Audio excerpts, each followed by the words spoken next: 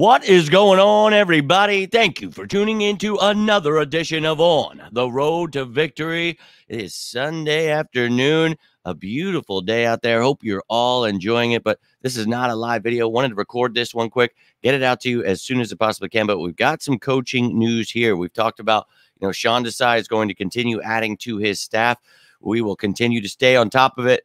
So, right here, right now, we're going to talk about the latest addition to the defensive staff.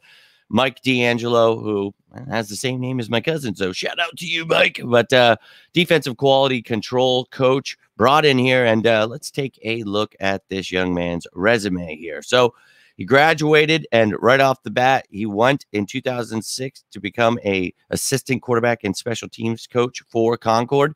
Then, right after that, he went to Washington and Jefferson, where he was an assistant to the defense, special teams, quarterback, and wide receivers throughout 2007 and 2013.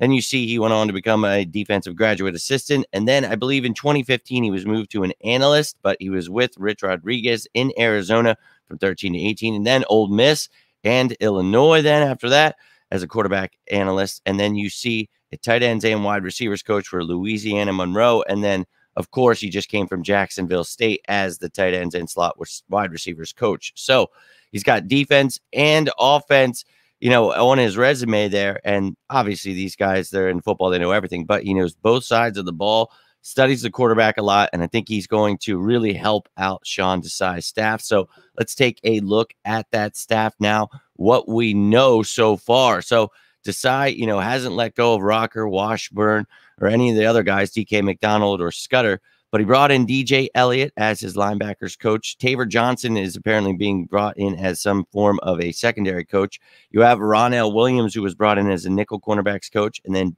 uh, I mentioned DK is still here as that assistant. Maybe he gets moved into a different role. But now Mike DiAngelo there at the bottom as the defensive quality control coach. So filling out that staff, and I'm sure he could add another, you know, quality control guy or assistant and a lot of things could go into the you know this staff, but got most of the positional coaches down. So love to see it. And uh, here's the offensive staff in case you missed it. A couple guys got some promotions, but uh, other than that, you know, Brian Johnson, obviously now the offensive coordinator. Um, looking like a lot of the same offense, but I think going to see some nice up tuning there. So excited about this offense, excited about the defense, and excited to see what Mike DiAngelo can do as that defensive quality control, how he can help Sean Desai. Very excited to see this defense, and we'll be breaking that defense down throughout this off season. But if you have any questions, any comments, maybe you know more about Mike DiAngelo, want to give your opinion on him, whatever it may be, I would love to hear your thoughts. Hope you're all having yourselves a great weekend. Hope you're enjoying that draft series. I will be getting into Edge Rusher tonight.